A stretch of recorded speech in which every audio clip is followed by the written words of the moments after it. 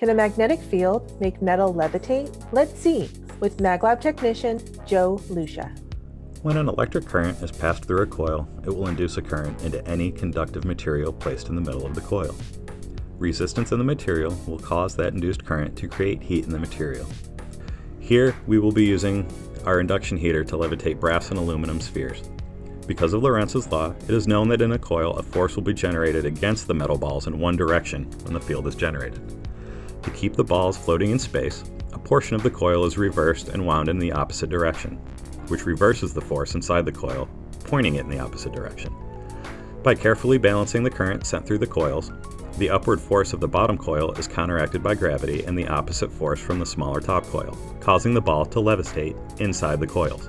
This process can be very precisely controlled and nothing touches the part that is being heated. Here we can see what happens when the upward force is greater than the reversed coil in gravity. The aluminum sphere is ejected upwards through the coils. Induction heating is used for many things in industrial settings, such as heat treating or brazing.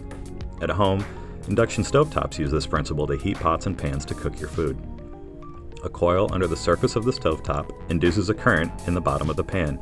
The resistance of that material on the pan creates heat and cooks your food.